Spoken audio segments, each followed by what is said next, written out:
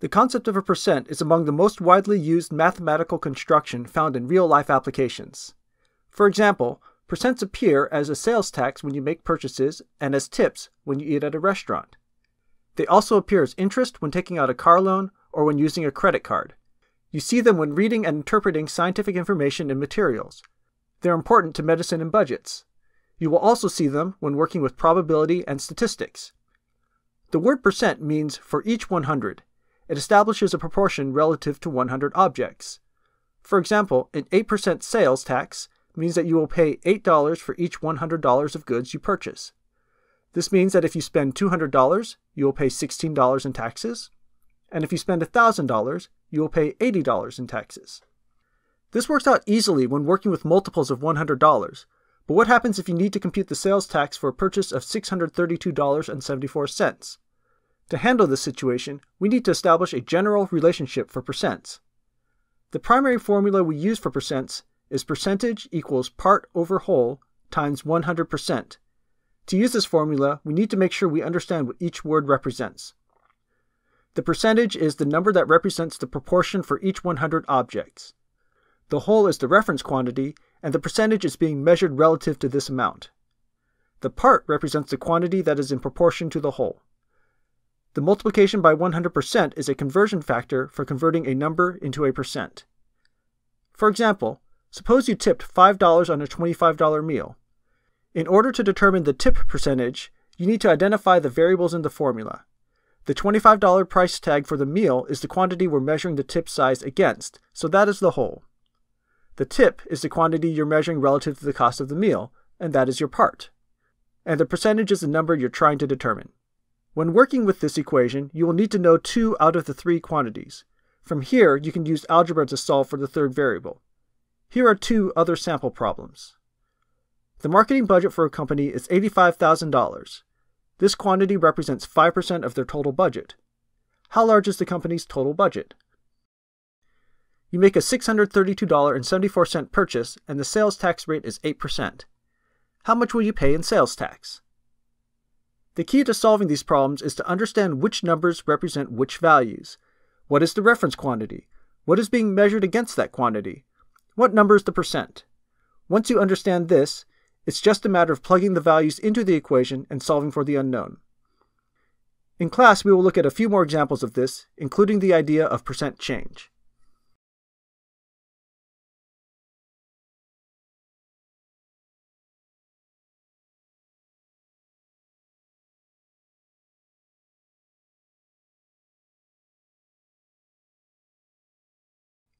Suppose you wanted to buy something that costs $1,000, but you don't have $1,000 right now. What can you do? One option is to wait a few months so that you can save up the $1,000 and buy it then. Or you could buy it now by borrowing money. But instant gratification comes at a cost. In this case, that cost is called interest. There are lots of ways to structure loan arrangements. There are fixed and variable rate loans, loans with balloon payments, and some loans even have prepayment penalties. We will look at the simplest version, which is known as a simple interest loan. In a simple interest loan, you are borrowing a specific amount of money for a specific amount of time, and your interest is a specific quantity. Here's the formula for simple interest. Interest equals principal times rate times time. The interest is the actual cost of the loan. The principal is the amount of money being borrowed. The interest rate is the percent of the principal per year that you pay in interest. This is also known as the annual percentage rate, or APR. The time is the length of the loan in years, which is also called the term. The interest rate is the part that takes a bit of thinking to understand. It is a percent of the principal, which means that we're looking at a proportion of the principal. It seems to be clearly worse to pay a larger percent, so this suggests that a higher interest rate is bad. But it's not quite that simple. Since the annual interest rate is also a percent per year, this number is affected by the length of the loan. To understand this a little better, let's think through an example. Let's say you want to borrow $1,000 and you have a choice of two loan options. Option 1. It will cost you $100 to borrow the money and you have two years to pay it back. Option 2. It will cost you $150 to borrow the money and you will have four years to pay it back. Let's calculate the annual interest rate for both of these scenarios. We can see that option 1 has a higher interest rate than option 2, but the actual amount paid in interest is lower. The difference is in the amount of time that you have to pay back the loan. As you can see, even in the case of simple interest, it's not obvious how to determine whether one loan is better than another. The answer might depend on other factors we haven't even considered, such as income and risk tolerance. Unlike what you might have thought about math previously, sometimes there's not a single right answer, and that's something you're going to want to get used to when it comes to mathematical reasoning. The ability to critically analyze a situation is much more important than merely the ability to calculate results. This has been a brief introduction to simple interest. In class, we'll be looking at compound interest, which happens when we start charging interest on the interest.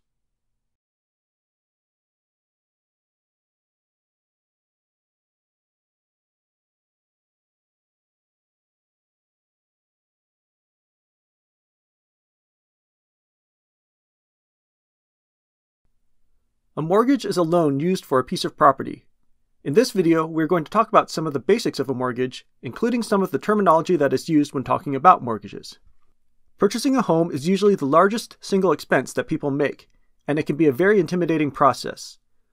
The reason that homes are bought with a mortgage is because very few people have the cash to buy a home outright. There are lots of reasons people buy homes, and each home buyer will need to weigh the risks and rewards of home ownership. At the same time, the bank also needs to weigh the risks and rewards of allowing someone to borrow a large amount of money from them in order to buy the home. If someone has shown themselves to be irresponsible with money in the past, such as carrying large amounts of credit card debt and not being able to pay them off, the bank will think twice about loaning them money. Let's say you want to buy a home. You will want to pay attention to both the term and the interest rate. Recall that the term of a loan is the amount of time in which you are expected to pay it back, Home loans are typically done with 15 or 30 year terms, although it's possible to have other terms. The interest is how much the bank is charging you to borrow their money. We are going to focus on fixed rate loans, which are loans where the interest rate does not change. You can get a lower interest rate for a shorter mortgage, but your monthly payments will be larger. Typically, you would not take out a loan for the cost of the entire home. Instead, you would have a certain amount of money that you would pay up front. This is called a down payment. Having a down payment reduces the size of the loan that you need to take and also helps to demonstrate that you are financially responsible. Conventionally, the recommended size of the down payment has been at least 20% of the value of the house. However, in recent decades, that number has dropped quite a bit in some perspectives. But low down payments are a risk to banks because owners are less financially invested. Just before the recession, people were purchasing homes with no money down, and that contributed to the collapse of the housing market. When the buyer does not have 20% to put down, the banks are at an increased financial risk. In order to help mitigate this, the buyer must pay an extra amount for private mortgage insurance, or PMI. This amount only applies to the part of the loan that is beyond 80% of the price of the home. The PMI helps to protect banks in the event that you are unable to pay your mortgage. In other words, if you have less than a 20% down payment, you will pay an extra fee on top of what you already pay for the mortgage. This is another reason to try to have a larger down payment. As you can see, there are many components that go into figuring out the cost of a home loan, and there are even more things that we haven't even discussed here. The good news is that you can get reasonably good estimates using free online calculators. One such calculator can be found at mortgagecalculator.org. At the time of making this video, this is how the website looks. On the left side, there are boxes where you will type in various values. After entering the data, you will click the Calculate button. This will then update the information on the right. There's a lot of information here, and it can feel overwhelming. But this calculator will tell you the following important pieces of information. The size of your monthly payment with PMI, how much PMI you'll pay per month and for how long, and the size of your monthly payment without PMI. Although there is other information available, these are the basic numbers you'll be looking at if you get a mortgage to buy a home. In class, we will look at ways to try to determine whether you can actually afford to buy a home, as well as finding ways to reduce your payments.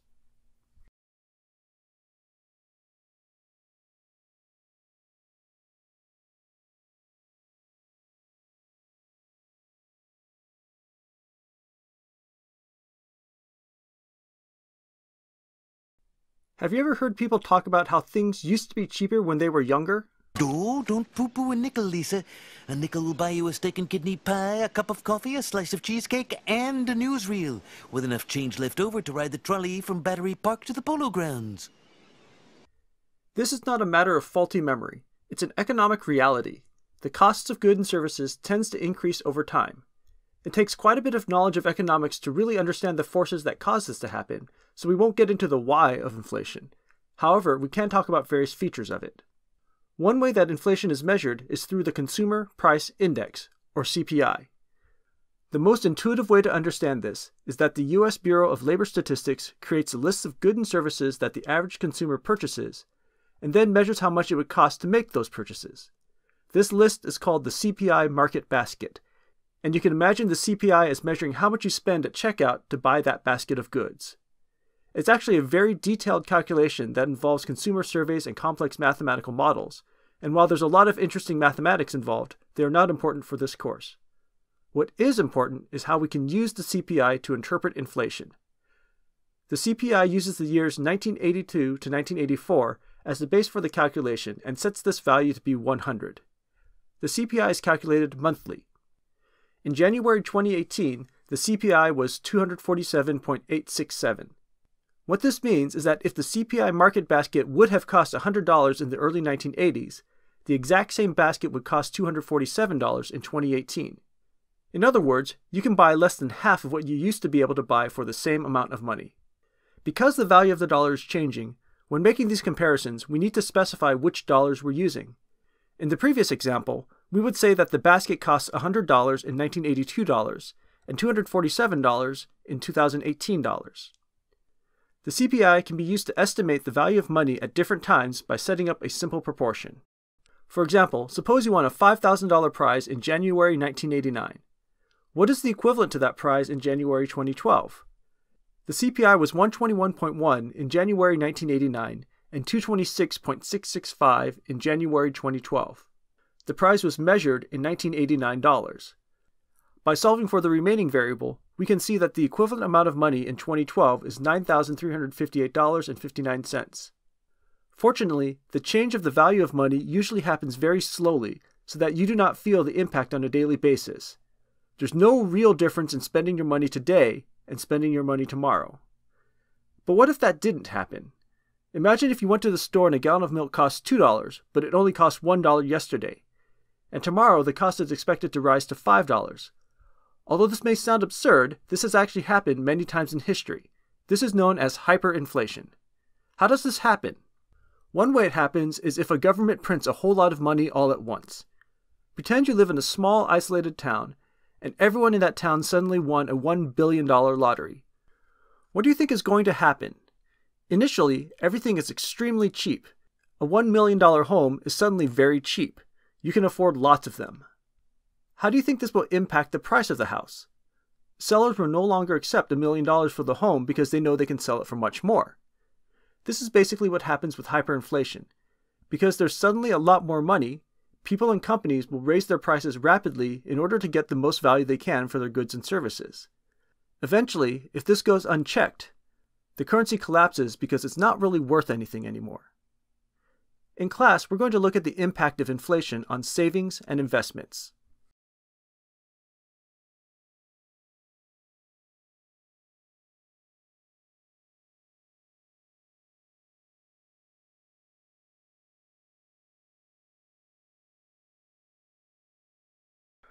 Probability is the study of the likelihood of events happening when there's some form of randomness involved. Although we usually think of flipping coins and rolling dice, the concepts of probability are applicable to real life situations, from setting insurance rates to predicting the spread of disease.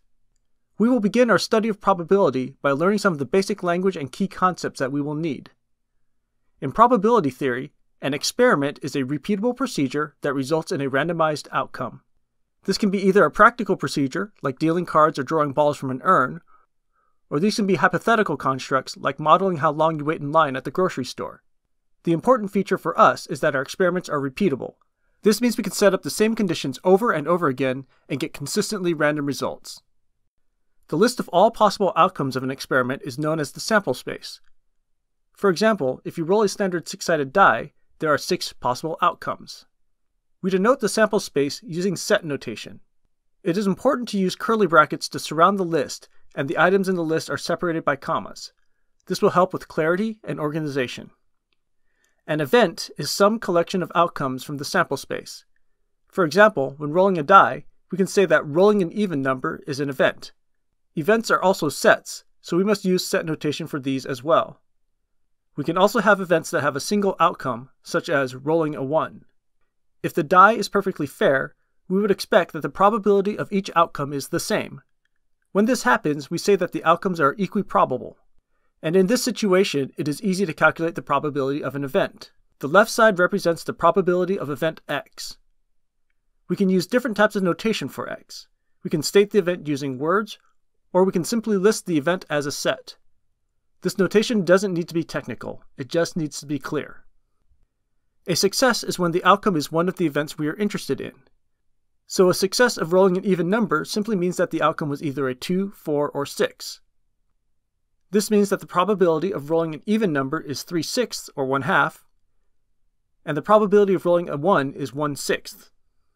There will be times when we want to leave the probability as a fraction, and there will be times that we will want to convert it to a percent. It will usually depend on the context. To convert a fraction to a percent, you first must convert it to a decimal and then multiply by 100%, which is the conversion factor. In class, we're going to look at more complex probability scenarios and learn how to use probability trees to help us organize that information in an effective manner.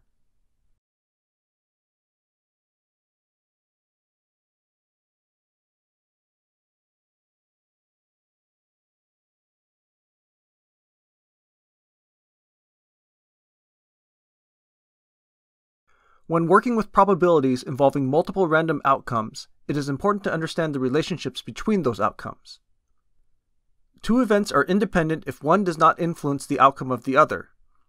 If you flip a coin and then roll a die, there's no reason to think that the outcome of the coin flip will impact the outcome of the die roll. However, if you deal two cards from a standard deck, the probabilities for the second card are influenced by the first card. If the first card is the ace of spades, then there's no way the second card could also be the ace of spades. We would call this dealing without replacement, and this is an example of dependent events. If we were to shuffle the ace back into the deck before dealing the second card, then the two events are now independent, and we call this dealing with replacement. We can use a probability tree to think about the nature of dependent and independent events. Suppose we have an urn that contains two blue balls and two red balls. Here are the probability trees for drawing with and without replacement. Notice that if we do not replace the ball, the probability trees for the second event are different. But if we do replace the ball, the probability trees are the same. The idea that some probabilities are connected to each other can sometimes play tricks on our brains. If you were flipping a coin and suddenly got heads four times in a row, you might feel that it's more likely that the next flip will be tails. Your intuition might be telling you that it's rare to see heads five times in a row, so you're due for a tails. Or your intuition might work the other way and you think you're on a hot streak. However, the reality of the next flip is that it is still a 50 50 proposition, just like every other coin flip. Another way of saying this is that sometimes our brain thinks that events are dependent even though they're not. This is known as the gambler's fallacy. We think that the probability of future events are impacted by previous events. In class, we will take a deeper look at dependent and independent events, and use that experience to take a look at the non intuitive result known as the birthday paradox.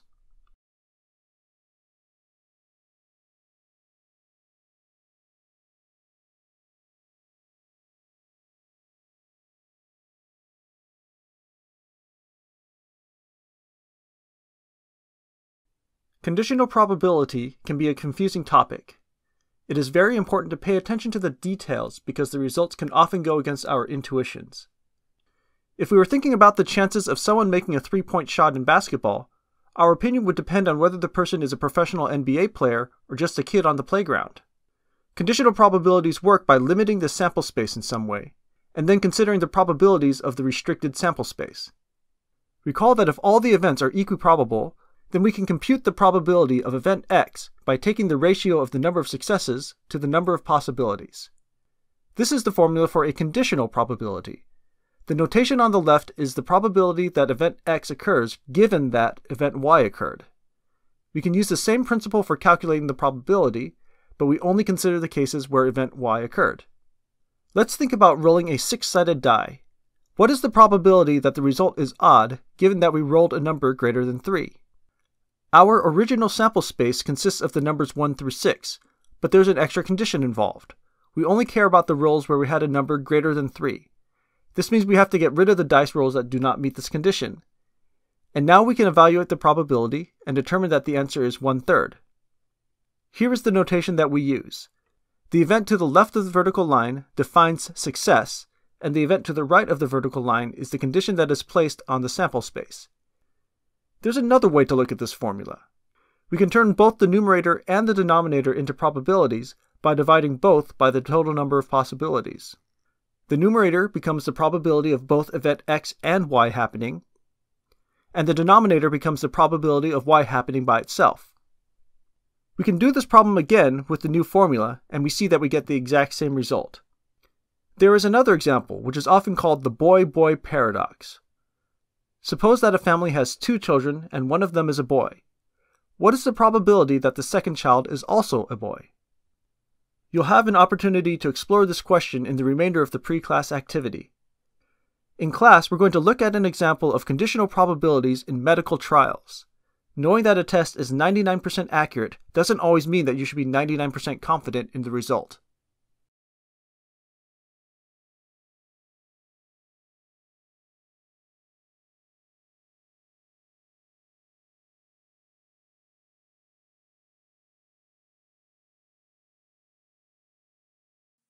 When gambling, different probabilistic events are associated with a payout. Here are two hypothetical gambling games. Game 1. You roll a standard six sided die. You lose $1 if you roll 1 through 5, and win 1 cent if you roll a 6. Game 2. You roll a standard six sided die. You lose $1 if you roll a 1 through 5, and win $1 million if you roll a 6. The chances of winning and losing are the same for each game, but you should be able to see that the first game is bad for you and the second game is good for you. You are intuitively picking up on the idea of the expected value of a game. There's more going on with this game than just the probability of winning and losing. Some wins are bigger than others. Here's the formula for expected value. There is a lot of mathematical notation, so we will break it down and do a couple examples. E of x is the expected value of game x. This is how much you expect to win or lose on average each time you play the game. This is known as the summation symbol. It is a shorthand notation for adding up several terms that all have a similar form. The variable i is known as the index, and it counts from 1 up to n. The value of n is the total number of outcomes. In this case, we will label all the outcomes x1, x2 up through xn. In general, you can use any notation you want for the outcomes as long as you've accounted for all of them. Just as before, P of xi is the probability of outcome xi. V of xi is the value of the outcome xi. In our example, this is the amount of money you win or lose in outcome xi. For the first game we discussed, there are six outcomes. We will let xi represent the outcome of rolling the number i and put all this information into a chart. When we expand out the summation notation, it looks like this. And then we substitute the probabilities and values for each of the outcomes, and it becomes this. Notice that losing money is a negative outcome and winning money is a positive outcome. If we calculate this value, we get about negative 83 cents. How do we interpret this number? It means that on average, you will lose 83 cents every time you play this game.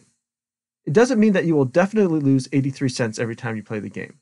But if you play the game a lot of times, you will find that on average, the amount of money you lose each game is 83 cents. If we switch to game 2, the only change is the value of rolling a 6. Instead of winning a penny, you win a million dollars. When we do the calculation now, the expected value is about $160,000. This means that you expect to win around $160,000 every time you play the game. This is clearly a favorable game for you to play. In class, we will calculate the expected values of more complex games and use that to understand the house edge in casino games.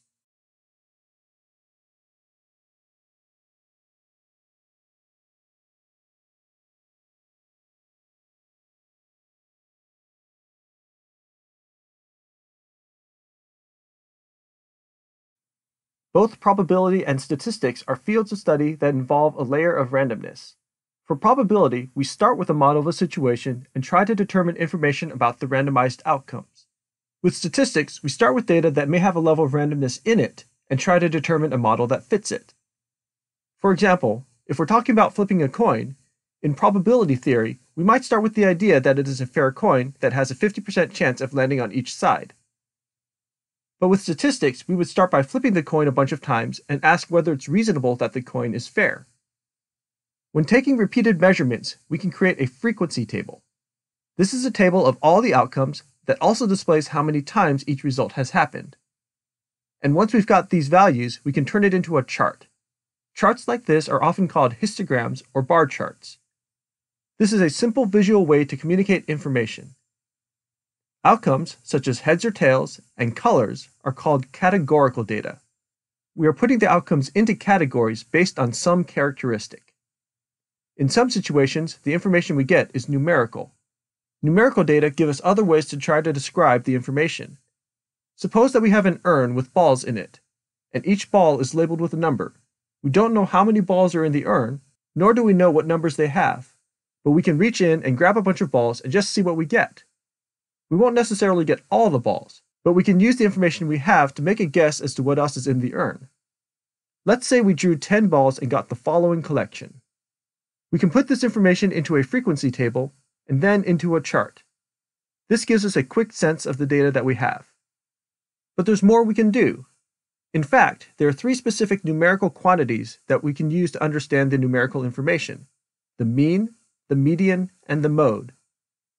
The mean is what most people think of when they think of an average. To calculate the mean, you add up all the values and divide by the number of values.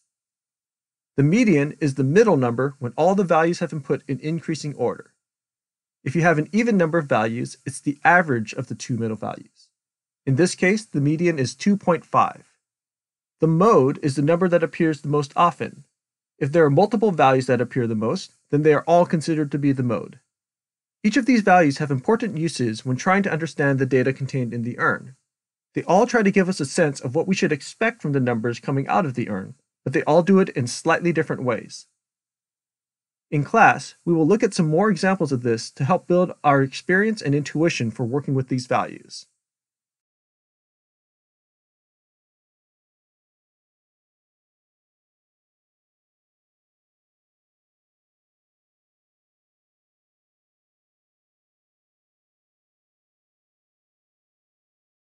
The normal curve, also known as the bell-shaped curve, is one of the most important statistical distributions because of both its practical and theoretical significance. A lot of data can be approximated by these curves, and they arise naturally from certain types of calculations. We're going to focus on the qualitative aspects of normal curves in this video. Given a set of data, one of our goals might be to find the normal curve that best fits it. But before we can start trying to fit the data, we should take a look at the behaviors of the normal curve. This is what it looks like. It turns out that there are two parameters that we can change. One of those parameters is mu, which gives the location of the peak. As mu increases, the peak moves to the right. As mu decreases, the peak moves to the left. The value of mu turns out to be the mean of the data. The second parameter is sigma, which is a measure of the spread of the data. As sigma increases, the data is more spread out and the peak is lower. As sigma decreases, the data is much tighter and the peak gets much taller. Sigma is called the standard deviation. There is a formula for how to compute it, but we're going to stick with the qualitative description. If we return to our original dataset and correctly calculate the values of mu and sigma, we are able to overlay the normal curve on top of our dataset and see that we get a reasonable fit. It's not a perfect fit, but that's okay. It is rare that real life data is ever a perfect match to a normal curve, but it turns out to be very close very often. The good news about mu and sigma is that we can use computers to calculate them easily. When working in Desmos, we can calculate the mean and standard deviation by using these functions. Simply type in the appropriate command, followed by the list of data points. The formulas are not particularly difficult to use, but it's rare that anyone ever calculates these numbers by hand. In a higher level course, we would use these formulas to help us derive more of our theory. But for this course, we will be focusing on the interpretation of these values, which we will do in class. There's one more value that's important to understand, which is known as the z-score. Let's focus on the normal curve where the mean is 10 and the standard deviation is 5. We're going to make markings along the x-axis using the standard deviation for spacing. A z-score is a number that we associate with every position along the x-axis. It measures how many standard deviations from the mean that position is. For example, if we look at the number 20, we can see that this is two standard deviations above the mean, and so the z-score for 20 is 2. The number 5 is one standard deviation below the mean, and so this has a z-score of negative 1. In class, we will see that z-scores can be used with a chart called a z-table to find out even more information about normally distributed data.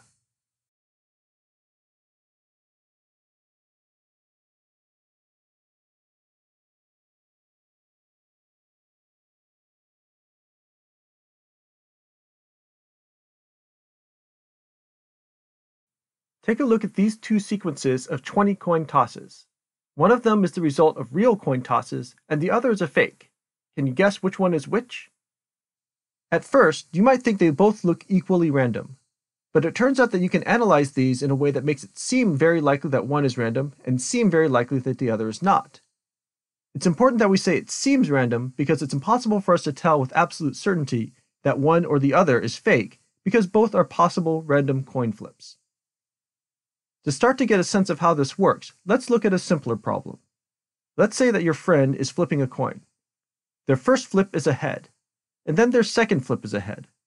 At this point, everything seems normal. But then a third, fourth, and fifth head appear. As you start to see the sequence of heads grow longer and longer, you will start to get suspicious of your friend. Maybe they're being honest, but every time you see another head, it makes you question their honesty just a little bit more. But why would you do this? What is making you think that something is wrong? Our intuition tells us that this doesn't look like a randomized coin flip anymore.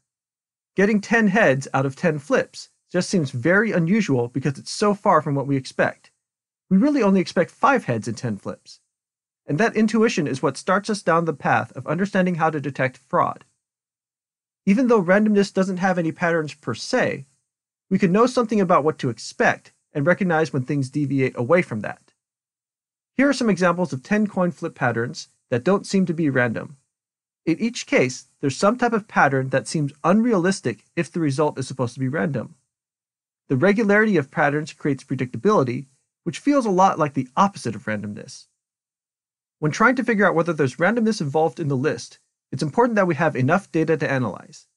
If we think back to our friend flipping all heads, there isn't anything suspicious after the first couple heads.